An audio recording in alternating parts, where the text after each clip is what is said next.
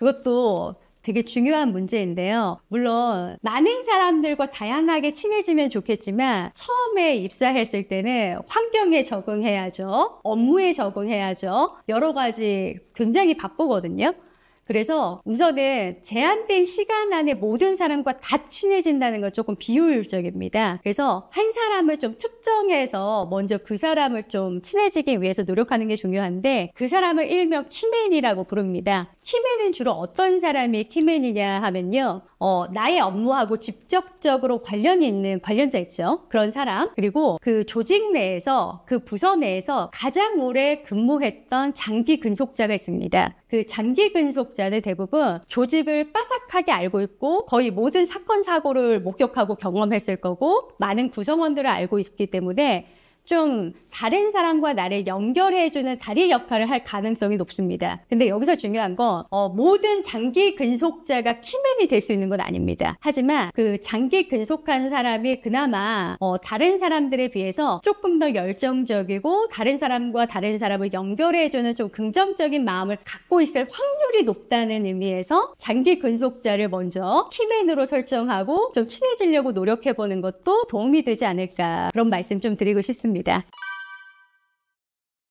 어, 경력사원이 경력이 많고 실력을 이미 입증을 받았기 때문에 입사를 한 건데 생각보다 입사 초기에 실수할 확률이 좀 많습니다. 그런 사람들도 많고요. 우선은 경력사원이 그동안 실무를 잘해오고 인정받을 수 있었던 이유 중에 하나는 본인이 가지고 있는 지식, 정보, 스킬, 이것뿐만이 아니라 타인의 도움 그리고 그 조직에서의 어떤 그 여러 가지 내재화된 지식이 있거든요. 그런 것들을 고루고루 사용했기 때문에 성과를 냈었다라고 좀 볼 수 있습니다. 그런데 이직할 때는요, 어, 다른 것은 다 못 가져오고요. 오직 가져올 수 있는 건 나의 지식과 스킬밖에 없거든요. 그래서 상황, 환경이 달라졌기 때문에 바로 성과를 내지 못하고 실수할 확률이 높은 것은 이렇게 달라진 상황과 환경에 있다라는 말씀을 좀 드리고 싶습니다. 어, 그런데 실수하는 유형이 좀 몇 가지가 있는데 살펴보자면 첫 번째 유형은요, 어, 기존에 하, 해왔던 일을 그 생각 없이 그냥 무의식적으로 하게 되는 경우 있잖아요. 그랬을 때 실수하게 되는 경우가 있습니다. 어, 예전에 그 전에 회사에서는 통하던 방법이었고 그렇게 일을 처리해 왔는데 어, 회사마다 그 일하는 방식이나 문화가 다르기 때문에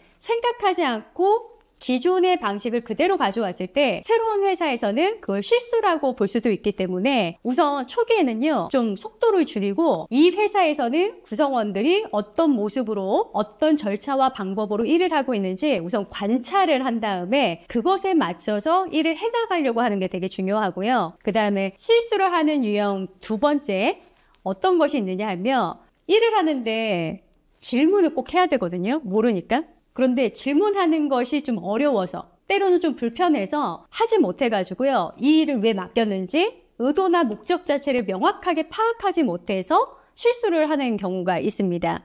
처음에는요, 정확하게 못 알아들었는데 왠지 알아들은 척 해야 될 것 같아서 네, 알겠습니다. 이렇게 얘기하고 혼자만의 생각으로 일을 막 처리해요. 어, 잘 가는 것 같아요, 일이. 근데 어느 순간에 갑자기 부정적인 피드백이 들려옵니다. 어, 땡땡 님, 일을 이런 식으로 하시면 어떡해요? 제가 원하는 거 이런 거 아니잖아요.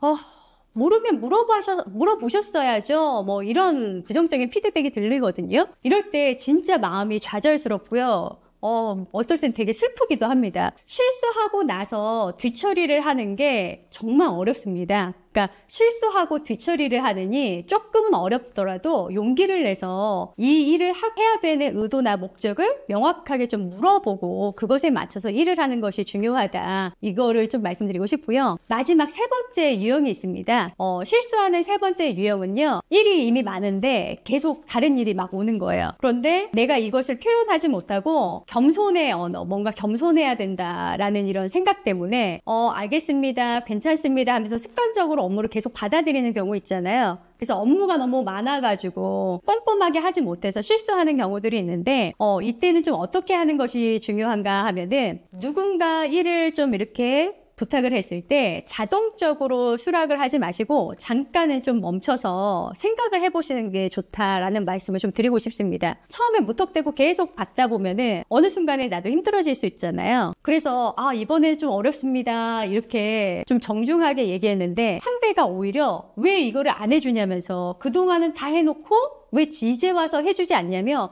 화를 내거나 부정적인 감정을 막 표현할 때가 있습니다. 그럼 굉장히 당황스럽죠. 마치 자기가 이렇게 권리가 된 것처럼 뭐 이렇게 저의 친절이 권리가 된 것처럼 막 행동하는 그런 태도를 봤을 때도 좀 기분이 안 좋잖아요. 그러니까 이때는 주도권이 나에게 왔을 때 우선 생각을 하는 겁니다. 어떤 업무를 어느 선까지 내가 조금 도와줄 수 있는지 이런 부분을 조금 생각을 한 다음에 이제 말씀을 드리는 거죠. 그러면 상대방도 내가 도와주는 일이 당연한 것이 아니라 어, 감사하다라는 마음을 가질 수가 있을 겁니다. 어, 제가 지금 세 가지 유형을 말씀드렸는데요. 이 세 가지 유형 중에 만약에 나의 유형이 어떤 유형인지 한번 체크를 해보신다면 초기에 실수를 예방하는데 도움이 되지 않을까 싶습니다.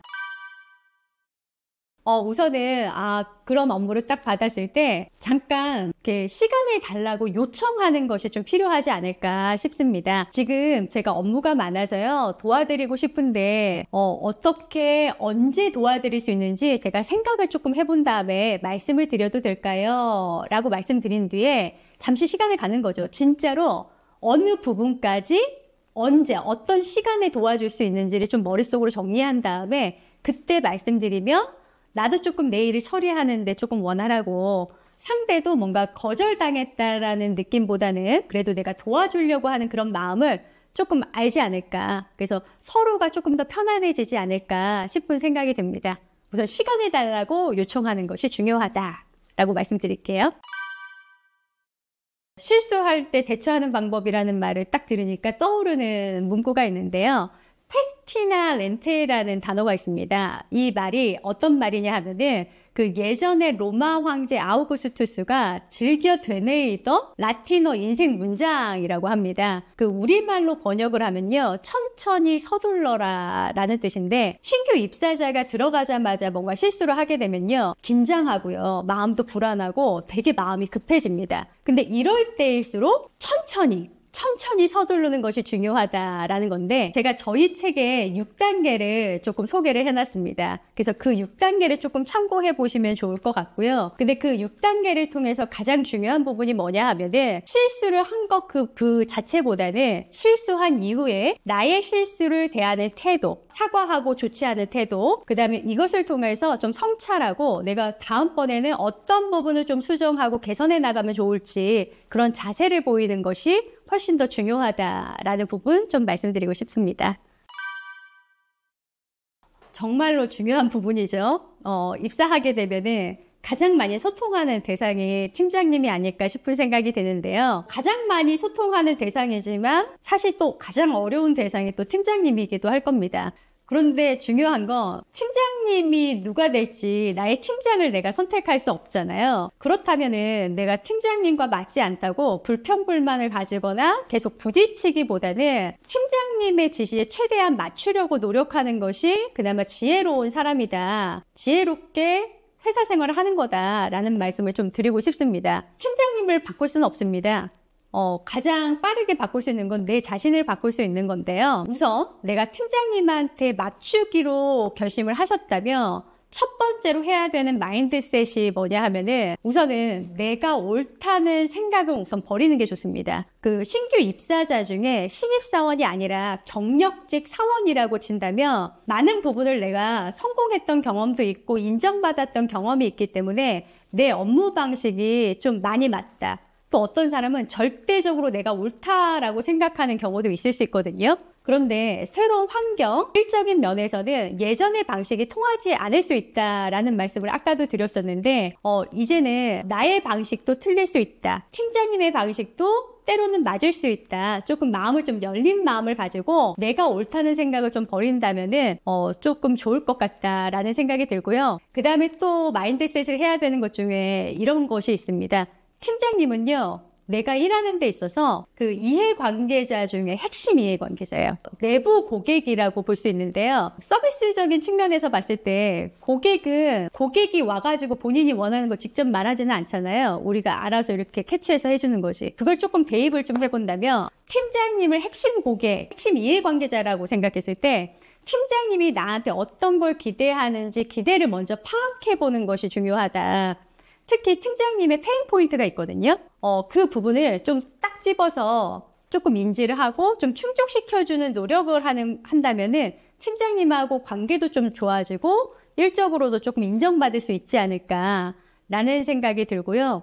그 다음에 팀장님을 조금 알고 싶다면 무턱대고 팀장님한테 막 물어보는 것보다는 주변 사람들한테도 팀장님이 어떤 사람인지 좀 질문을 통해서 좀 물어보고 좀 준비를 해서 팀장님과 좀 만나고 팀장님과 대면해서 얘기할 때도 어, 팀장님한테 내가 팀장님과 열심히 일을 하고 싶은 사람임을 좀 어필을 하시고 좋은 관계를 만드시면서 때로는 지원도 조금 얻어낼 수 있어야 합니다. 내가 일하는데 팀장님을 나의 든든한 지원군으로 만드는 게 중요하다.